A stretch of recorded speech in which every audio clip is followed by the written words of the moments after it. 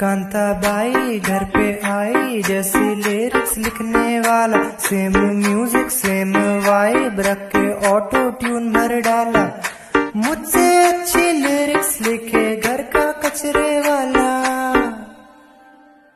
बोसड़ी वाला वाला वाला